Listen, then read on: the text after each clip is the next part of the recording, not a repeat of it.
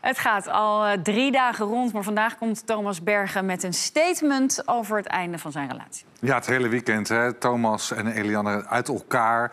Net een eh, tweede kindje gekregen. Verdrietig nieuws. De Juice Channels, kwamen daarmee in eerste instantie. Wij hebben zaterdagavond ook eh, gebracht dat we contact hadden met uh, nauwe vrienden van het stel. Die ons inderdaad bevestigden dat ze ondanks een relatietherapie toch besloten hadden uit elkaar te gaan. En vandaag bevestigt het stel het dan eigenlijk ook zelf. Eliane natuurlijk gisteren al eigenlijk met een Ja. soort van sneer op, haar, op haar Instagram. Eh, ehm, hier ook, we zagen hem even heel kort eh, voorbij komen. Eh, maar may God bless cheaters with cheaters. Met andere woorden, eh, nou ja, hè, dat hij haar bedrogen zou hebben. Ehm, hij zelf ontkent dat vandaag in het statement. Hij zegt er is absoluut geen sprake van dat er een andere vrouw eh, in mijn leven is. Maar de berichten zijn wel waar. Het klopt dat ik een punt achter onze relatie heb gezet. Na diverse pogingen en relatietherapie is het toch niet gelukt om onze relatie voor te zetten. Eh, hij wil wel benadrukken dat er geen andere vrouw is. En vooral ook dat er alleen maar slachtoffers zijn in deze hele kwestie. En dat Nou, ze- dat zijn dan vooral die baby's die er zijn, zou ik zeggen. nou, en Ja. zij natuurlijk En ook zij wel. ook, ja. ja. Ik bedoel, En zij hij blijft nu achter met, ehm, met, met, met twee hele jonge kinderen. Een kindje van 14 maanden, een kindje van drie maanden. En, en ehm, ja, hij is, hij is gevlogen. Ehm, Maar zij hint er toch wel degelijk op dat hij vreemd gegaan is. En je hoeft natuurlijk geen andere vrouw in je leven te hebben om een keer vreemd gegaan te zijn. Dus Nee. ik vind dat statement waar hij zo heel lang over gedaan heeft vanaf zaterdag niet heel erg eh, stevig. Nee, zij eh, eh, is, kwam meteen daarvoor of, daarvoor of daarna, maar Daarna. rond dezelfde tijd kwam, kwam zij ook met een, eh, met een statement. En dat, eh, dat, dat, dat zegt inderdaad, eh, ja, mijn hart is vorige week in duizend stukjes gebroken... met een pasgeboren baby en een kleintje was een gebroken gezin. Nooit wat ik voor ogen had. Ik stond achter de gedachte, altijd achter de gedachte in voor- en tegenspoed. Maar dat is helaas eh, niet wederzijds gebleken. En eh, ja, zij heeft alleen maar heel erg kunnen huilen de afgelopen dagen.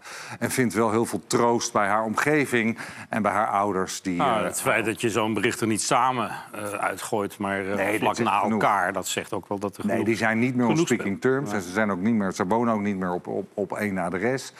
Ik kan me wel voorstellen dat dat niet, eh, niet zo langer gaat. En zij zegt weliswaar dat hij niet echt is vreemd gegaan fysiek... maar dat er wel een soort sprake zou zijn geweest van een chat... Een, een, eh, waar, met een andere vrouw... Waarin, ze, nou ja, waarin hij in ieder geval te ver was gegaan. Maar Ja. ik ken deze mensen niet.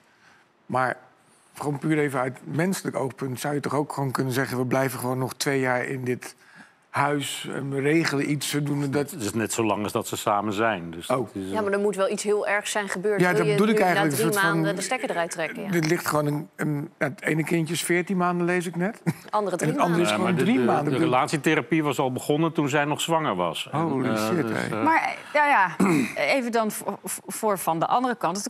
Relatietherapie is toch ook meestal de plek waar je je oprechte gevoelens uit... Ja, maar dan kan je toch nog steeds achterkomt- praktisch regelen. Je kan toch gewoon. Ja, als- dat gaan ze misschien nog doen. Maar je- het kan toch zo zijn dat je ook met een heel klein kindje denkt... ja, dit, dit Is gewoon niet de wat ik- vrouw voor mij. Dit is word. niet, dit, dat kan toch? Dat is toch Nou, dat vind- is heel verdrietig en heel... Maar dat, het Als ik kan eerlijk Nee, maar je zeggen, gaat die- voor de tweede keer bij je gezin weg. Ja. Hè, Hij heeft ook al een Ja. vrouw met een kind. En dan nu, nu nog eentje. Nou, dat is eh, niet lekker bezig. Hij heeft hij weinig geleerd van de, van de vorige keer. En ook inderdaad wat jij zegt, ze zijn zo kort bij elkaar en al wel twee kinderen. Eh, hij heeft weinig geleerd van zijn, eh, van zijn fouten in dat opzicht. Wat wil jij zeggen, Ronald? Eh, Ja, dan nog steeds heb ik gewoon zoiets van als.